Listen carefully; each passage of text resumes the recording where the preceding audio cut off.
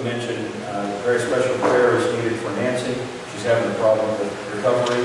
Remember, she had COVID, and she is in in therapy right now, and uh, is, is having struggles to, uh, to recover quickly enough. Henry is home, and is, uh, he's, he's doing well. And then uh, we got to remember Rachel's mom also. A couple more things that we'll do later. Rachel's mom is struggling with cancer, so.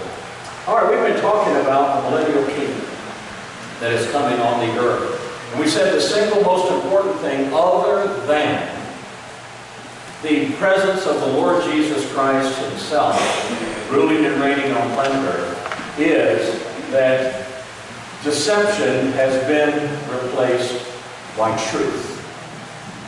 From the very time of the beginning in the Garden of Eden, the millennial kingdom, of course, is a restoration of back to an Edenic type state for the most part during the thousand year reign of the Lord Jesus Christ. But in Eden was a place where absolute truth was perfectly known. Adam and Eve both knew the word of the Lord and what he had given them uh, as far as what is obedience and what is disobedience. Uh, and they walked and talked with him in the garden. Uh, we looked at all of this stuff in our previous couple of studies. But that presence of truth, an absolute truth with no deception, is part of what is going to be coming in the Messianic kingdom. When Jesus Christ, who is the truth, will be reigning. One of the things that is lost in today's world is the fact that truth is truth whether you believe it or not. Truth is established by the Word of God. Truth is established because it is God's Word and He is truth. And we have seen that and we'll remind ourselves of those things in a minute. A lie is still a lie even if everyone believes it. So it is not a matter of what other people want to say, but it's a matter of what says the Word of God. And that is why the careful teaching of the Word is what is absolutely necessary, and why for all of us who are born-again believers, we need the intake of Bible doctrine, intake of the Word of God, so that our minds are renewed, and through that we can become Christ-like. Remember, lie detector tests can often be wrong, but the greatest lie detector test, and the one that's never wrong, is this one right here. It's the Word of God. We're going to be looking at more of this in the Millennial Kingdom, but this is just a reminder of things that we looked at last time. By the way, the Bible conference in Tennessee went well, but it's good to be home. Uh, it was great to be down there and share the Word uh, with Brother Redmond and his church. Uh, we had so many of our family down there at the same time frame, which made it even more special. But God and His Word equals absolute truth. Absolute truth means there is non-negotiable. It is true whether anyone believes it or not, and truth equals reality. One of the things that, that we often want to miss is say, well, that's your opinion or that's your thought. And it may be, but that's human viewpoint. Divine viewpoint is never wrong, and it establishes reality. It says all the way back to Exodus 34, 6, Then the Lord passed in front of him, that is Moses, and proclaim The Lord, the Lord God, compassionate and gracious, slow to anger, and abounding, overflowing, we looked at this, overflowing in loving kindness and truth, abounding in truth. Truth, and that is the is the is the Hebrew word. It comes from the word amen. When, you say amen, for example, you're saying uh, that is truth. I confirm that. I support that. That has just been stated. And the word truth there is from that very word. It means something is confirmed as true. It is true. It is an objective reality. Objective, not subjective. It is true because God says it is true. It is true because God confirms it as true. And that makes it absolute, non-negotiable. It doesn't matter what your opinion is. It doesn't matter what my opinion is. But what saith the Lord? Just to help us. Remember what is objective. Objective means it is external to me. It's not, I don't, I don't confirm something is true because I believe it. But it is confirmed as true because it's in the Word of God, and therefore I believe it. You know, so it used to be said a long time ago, uh, God said it, I believe it, that settles it. That's wrong. God said it, that settles it, I believe it, is the way to say it. Truth exists independent of any thought or opinion of either angel or human. Truth is defined by God and is revealed in the Word. That's why, in contrast, the, the word emuna, which comes from the word for truth in the Hebrew, speaks of faith. This is where that which is absolute truth now becomes the truth that I believe, that is the subjective side of it. Not that it changes the truth, but I have accepted it as truth. I have been persuaded that it is God's truth within my heart, and it is confirmed by that. The person is persuaded that the truth God has given is, in fact, true, and I accept it. In today's world, everything wants to be opinion. Your truth is not my truth. Well, from the human viewpoint, that may be a fact, but not from the divine viewpoint. It rejects the person who accepts the truth is rejecting all other ideas, which are illusionary. We are rejecting reality. Uh, we are rejecting falsehoods for reality.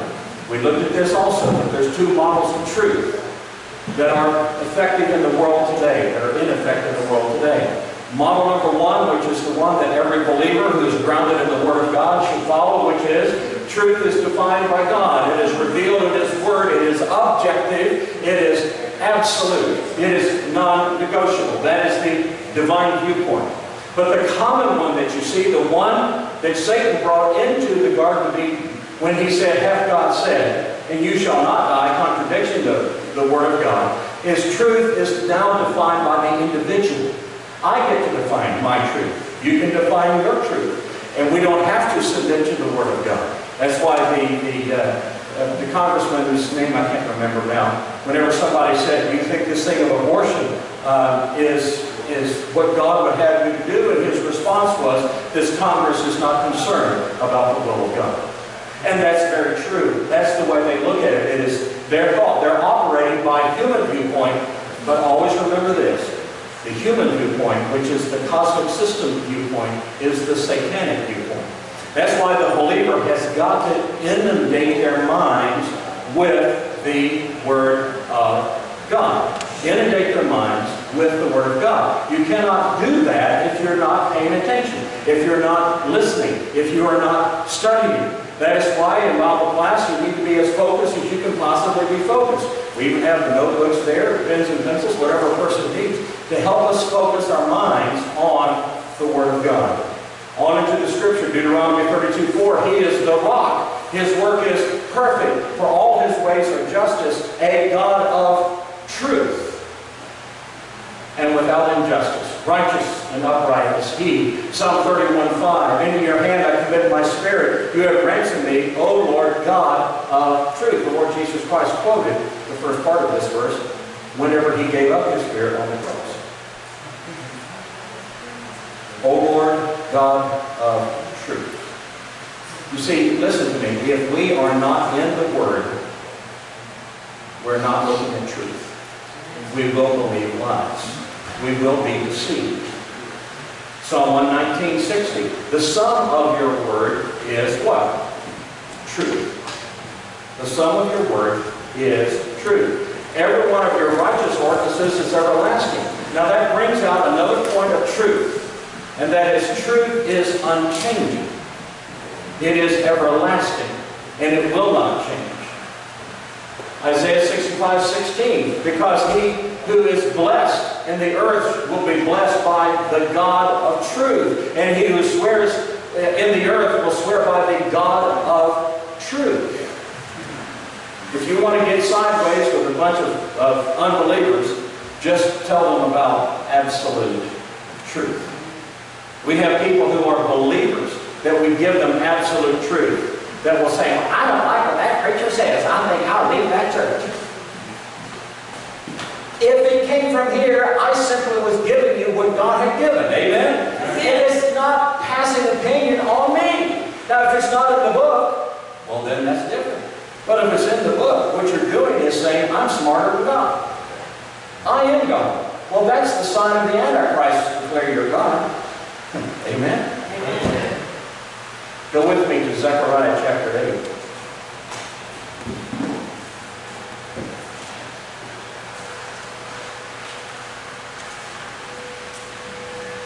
Zechariah chapter 8. Zechariah is right in front of Malachi, which is just before the book of Matthew in the New Testament. Zechariah chapter 8.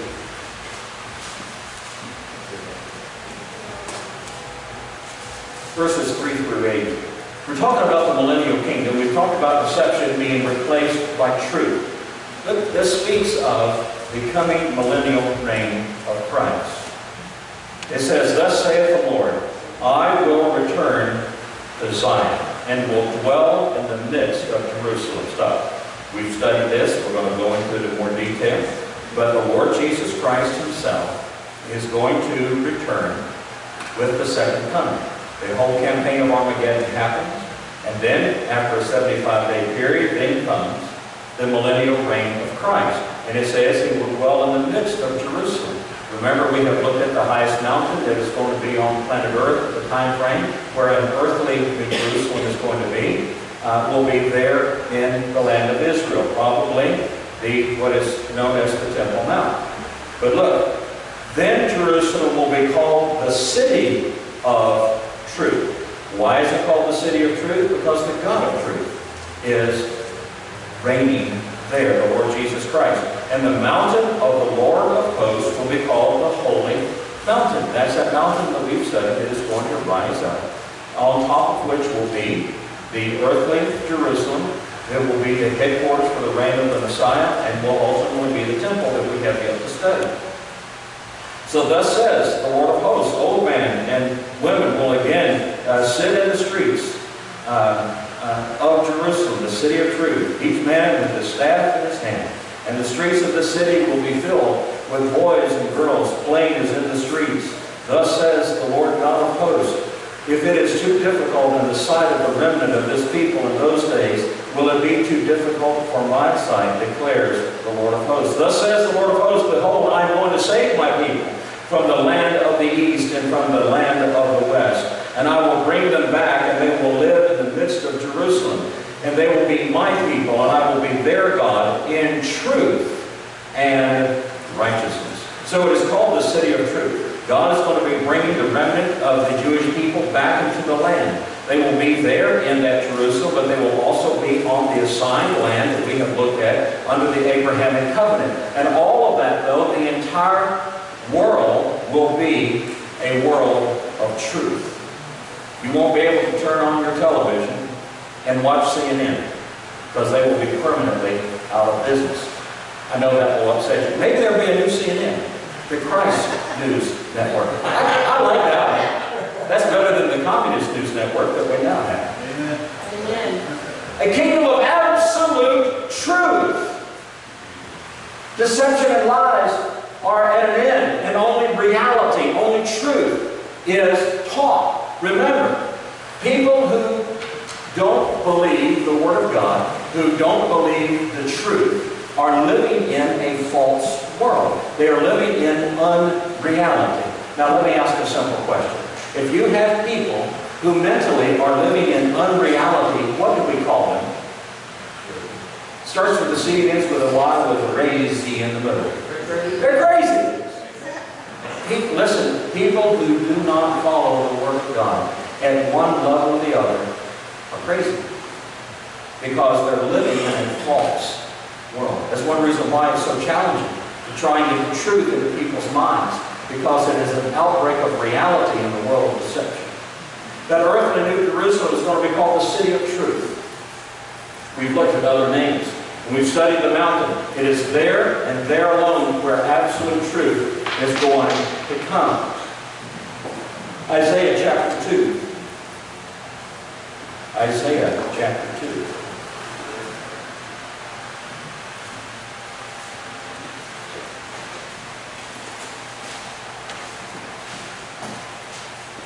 Verses 2 through 4. Isaiah 2, beginning in verse 2, Now will come about that in the last days, now in this case, the last days is referring to the thousand-year reign of Christ. The mountain of the house of the Lord will be established as the chief of the mountains. We've studied this. And will be raised above the hills, and all the nations will stream to it, and many peoples will come and say, Come, let us go up to the mountain of the Lord, to the house of the God of, of, of Jacob, that he may teach us concerning his ways, that we may walk in his paths. And the law will go forth from Zion, and the word of the Lord from Jerusalem. And he will judge between the nations and render decisions for many peoples. And they will hammer their swords into plowshares, their spears into pruning hooks. Nation will no longer lift up sword against nation, and never again will they learn war. So what is happening is that the Lord Jesus Christ himself is the main teacher. The teacher where people from around the world will be coming to hear the truth. Now it's going to spread out from there. But look what it says in Isaiah 16:5. I'll put this on the screen.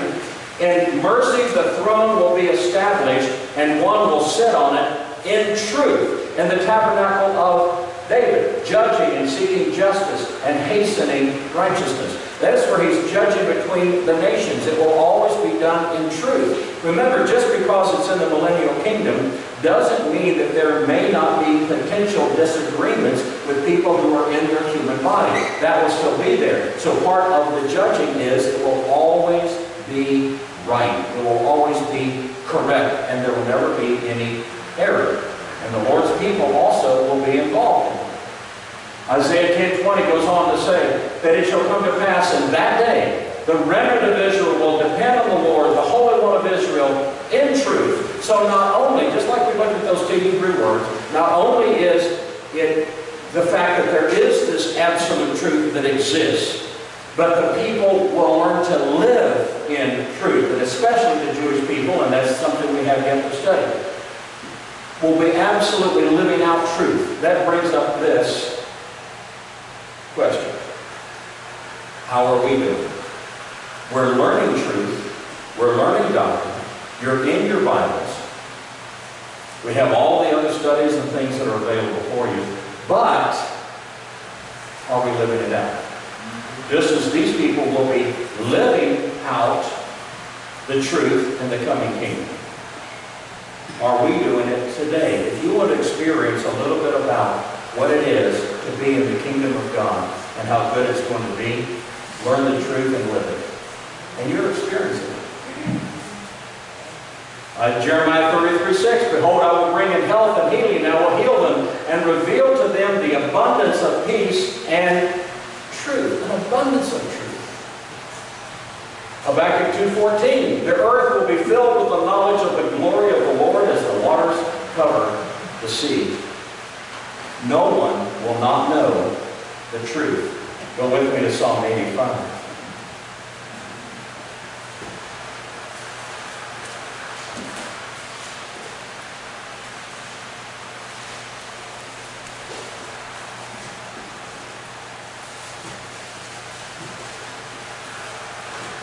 All of this becomes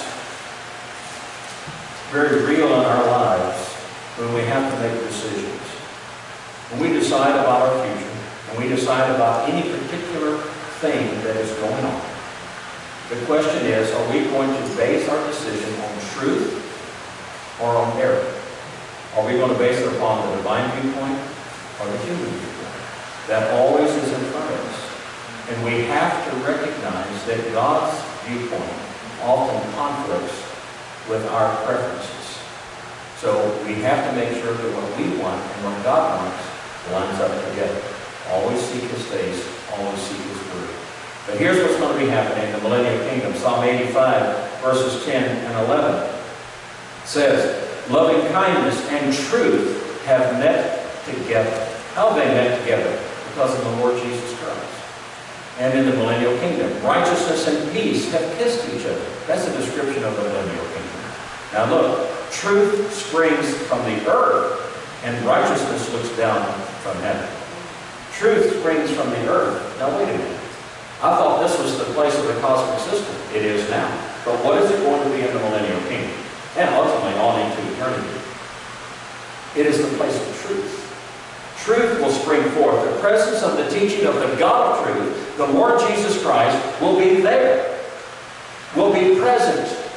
And the reality of what truth is will be abundant. By abundant, it speaks of the fact that there will be no deception allowed. No deception in anybody's mind. Satan himself, of course, is locked up. The demons are locked up. All there is is truth.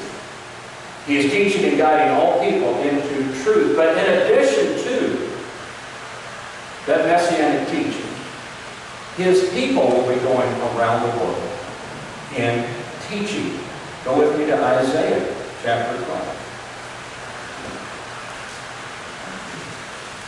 Now this is where it kind of gets exciting for all of us. What are we going to be doing for all this time? Well, although this speaks of the Jewish people, Isaiah 12. And in that day you will say, Give thanks to the Lord, call on his name, make known his deeds among the people, make them remember that his name is exalted.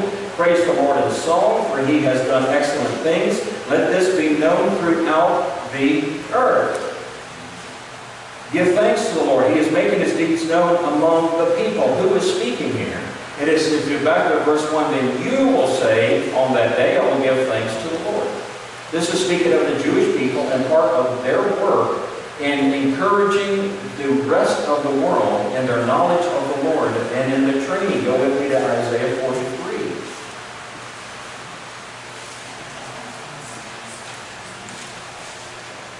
Isaiah 43.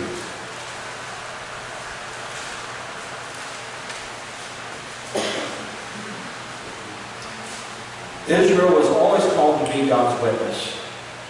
They have failed that through the centuries more times than they succeeded. But in the millennial kingdom, they will fulfill their full calling as a nation.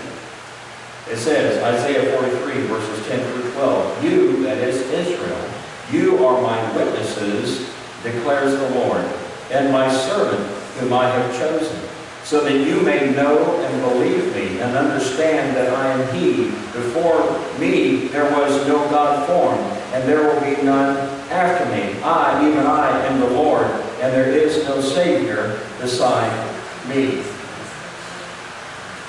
He says, You are my witnesses. Who is the you? The nation of Israel. The witnesses, those who are declaring the truths that he gives here, that there is no God beside me. He teaches them that you may know and believe me, and then they will go forth and teach from there. Look over in Isaiah 58.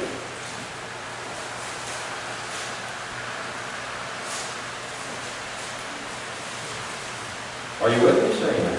Amen. Isaiah 58. One thing I don't like about new Bibles, it becomes hard to turn the pages.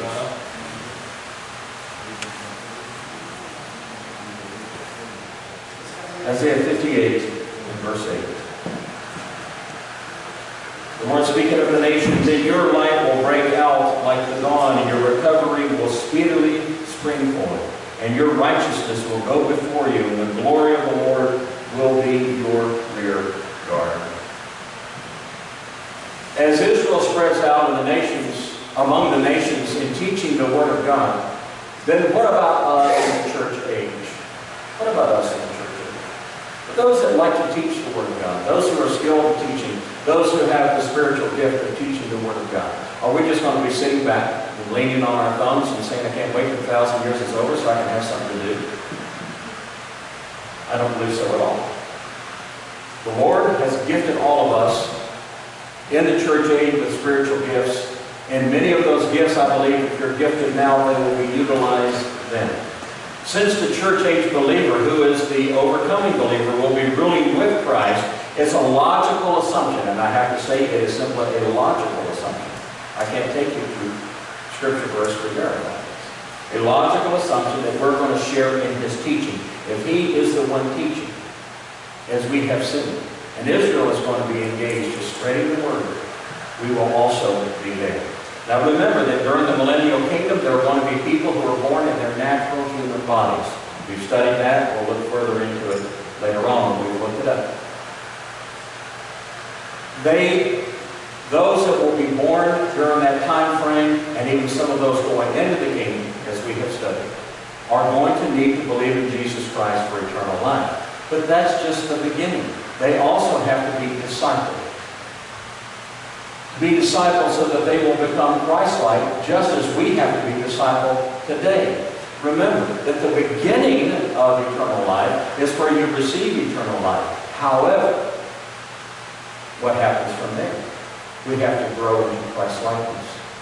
It'll be the same during the millennial kingdom. John 14, 6. Remember, Jesus is the definer of truth. You know this verse, but look it up anyway. John 14, 6. What did Jesus say? Okay, you're quoting it. I am the way, the truth, and the life. No one comes to the Father but through me. He is the truth. He defines truth. He is the one who is going to be ruling. Can you know that truth today? And can anybody tell me what John 17, 17 says? How does a person grow in the Lord? Sanctify them in truth. Your word is truth. That word will be the living word of God, ruling during the millennial kingdom, but he speaks through his word. This Bible will be there. The same thing you have in your hand today will be there, and it will be taught, and it will be understood. Are there going to be special classes? I don't know. But I can just imagine what it would be like to hear somebody say, Paul is teaching Romans 3 o'clock today. I think I'd be there. How about Isaiah? It would be wonderful. But truth is what God says it is, and that's what I'm trying to drive home today. The Word of God, the Bible, is total truth. Psalm 119, 160 says, The sum of your Word is truth. That's why if we ignore this, the only other option is lies. If we ignore this, we will not know truth. Listen, your mind is going to think on something. Just trying to say, I'm not going to think that way, leaves a vacuum. In that vacuum, something is going to fill it. And even though you may change your thought about this, something else from the cosmic system will just come in and take over. That's why we are transformed by the renewing of the mind. Amen? We have to get the Word of God into our heads. That's one reason why, of course, you cannot do it independent of the local church. You cannot do it independent of a pastor-teacher because God designed it that way. One of the things that we have is our own selves to be in the Word of God and read it and study it for ourselves. But we also have to be in Bible class. We here at Westside, through the Free Grace Bible Institute, also have plenty of other things to help guide you into the truth of the Word of God. Listen, John chapter 8, look at it. John chapter 8. And these same principles that apply now are going to apply in the millennial kingdom. But John chapter 8 beginning in verse 31 and 32. Verse 32 is one that a lot of people love, but they forget verse 31. So Jesus was saying to those Jews who had believed him, now stop, they had received eternal life. What did he say next? I'm glad you're going to be in heaven, that's all you need. Did he say that? No. If you continue in my truth, stop. Now they had started in his truth, and that word continue is a good translation. They had started because they had believed in him for eternal life. They were listening to him and they were starting the path of discipleship. But he says, if you continue, if you make it a lifestyle pattern of continuing in his word, and his word is truth, then you are truly disciples of mine. Not just a born-again child, but a disciple, a learner, a follower. And then, then, then, contingent upon verse 37, then you will know, or 31, then you will know the truth, and the truth will set you free. I don't know about you, but I've been into places like rescue missions, and I find 832 plastered on their walls. You'll know the truth, and the truth will set you free. Then they proceed to go about teaching you psychology and 12 steps and every other is. They don't know anything about 31. It is only as we continue, we make it a lifestyle pattern of being in His Word, that we will know the truth. We will be free from human viewpoint. Jesus is saying, if you continue in my Word, that's this. That's why you can't do it independent of it. No need to even try. If you say, well, I'm, I'm praying. Now, that's, that's one that would get me irritated. Well, I'm not reading the Bible, but I'm praying. If you're not in the Word, you're out of fellowship, you don't even know what to pray for. Your prayers are going no higher than the top of your head. So what is God's target? What's God's target? Is your mind. He desires for everything you, for, for, you to experience in time the freedom that comes from knowing the truth. The truth. Stop trying to define things by human viewpoint. It is the Word of God and the Word of God only that brings you freedom. Whatever it is in your sin nature that is tying you down, the freedom is the Word of God. You don't have to go out to some classes and sit around with a bunch of people and say, oh, my name is, and I'm a look. Let me tell you something. To identify yourself as something that you're not is to lie. Well, I'm an alcoholic. Not according to the Word of God. You are a newborn in Christ. Look at Romans 6, 7, and 8. You'll see it for yourself. That is not who you are. Stop identifying as that person and start identifying as who you are in Christ. Because that is the truth. And there you will be free and no other place. The coming kingdom reign of Christ is going to bring the greatest freedom man has ever known. Because it is only for truth that they will know that. The wisdom that comes from. The greatest way you can experience a little bit of the millennial reign now is to become a disciple. Then you will know the truth. You see, a lot of times Christians don't even realize that they're in mental bondage to world thinking until it is confronted by the Word of God. And there's where a lot of times we have problems, isn't it? We've seen it right here at Westside on multiple occasions. We say, here it is, right here from the Word. Here it is. I don't like what that preacher's preaching. I'm out of here. Bye. See you later. What you're saying is, I don't want to know the truth. Well, that's your, de- that's your definition. Oh my goodness, that's your interpretation. Stop it. It's amazing. I can read it straight to a person, right from the Bible, and read it right to them, and they'll look right at me and say, well, that's your opinion. Mean my opinion? I just read it. There, you read it. God's truth. Amen? God's truth into the mind is where He wants it to be. That's your goal. That's my goal. My goal as your pastor is to do everything I can to get this truth into your head. Let's remember that, and let's work at it together. We'll have to pick up here last time, uh, next time. I didn't get where I wanted to go, but that's not unusual. Father in heaven, thank you for this all too brief uh, time to recognize who you are, to recognize and be reminded once again of the fact that you are the one that defines truth. There is no deception in you. And the sum of your words is truth. And the only way we can be sanctified, set apart for you to become Christ-like, is by the means of the truth. And it is only as we continue in your word to make it a central part of our lives will we be set free from human viewpoint so, Father, I pray for all of us, all of us, beginning with me, through everyone seated here, and everyone online, that will evaluate our attitude toward the Word of God and renew our determination to continue in the truth so we can know the freedom that you long for us to have so then we can go on to be rewarded in your coming kingdom. It's in the, the precious name of Jesus Christ that we pray. Amen. All right, church, we've got